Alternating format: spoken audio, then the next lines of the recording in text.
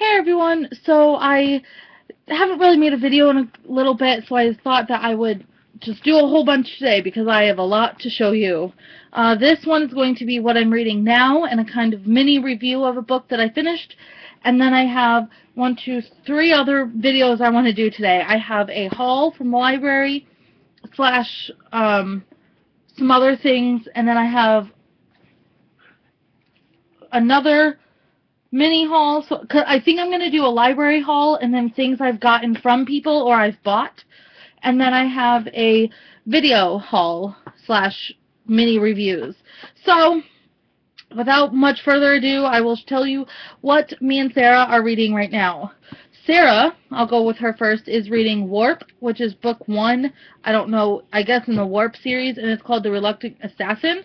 It's um, by, I don't know how, what his exact name is, Eoin Colfer, I think that's how you say his name. It's a person that wrote the Artemis Fowl series. Uh, apparently this is semi-new. Oh, it's from 2013, so that's not that new.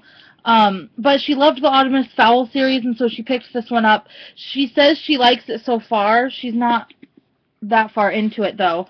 Um, but she says it's really good, so that's what she's reading right now. Right now, I am reading... Hold on, I gotta, like, find room for this stuff. Right now, I am reading The Program by Suzanne Young. I'm about halfway through it right now. You can't really see it. I'm about halfway through it right now. Um, I absolutely love it. I have started reading this before. I read it um, down in Florida, and I just didn't get through it, and so I actually started to pick it up, and I actually am really, really enjoying it now. I'm already on to part two, which everyone says that part one is kind of just one of those things you just have to get through until you get to part two, and then everything happens. So I'm really excited now that I'm on part two. Um, but I'm reading that right now, and then I'm also reading Geektastic's Story from the Nerd Herd.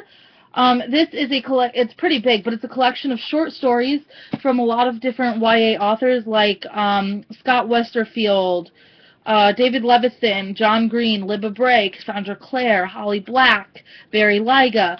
Um, just a whole different, different bunch of people have put in short stories and or comics, because I know, I believe after every short story there's a little comic in there too, and it's just a whole lot of nerdy, geeky kind of things. So I'm kind of reading one story at a time.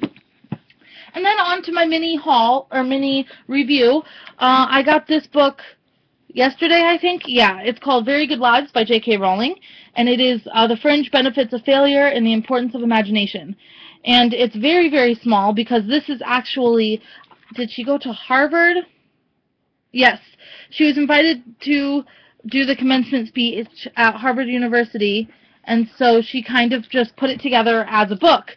And so I read it last night in like less than an hour because it's not like it has a drawing on every page and then just a little bit, so it's not really hardly anything. Um, but I really, really enjoyed this. I'm go. I believe I gave it five stars on Goodreads. I absolutely loved this.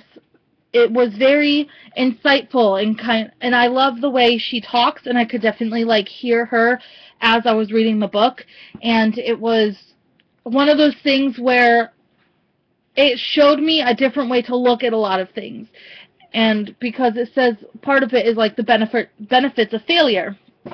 And I'm very big on that I cannot fail anyone. I hate failure. Like it is one of my downfalls.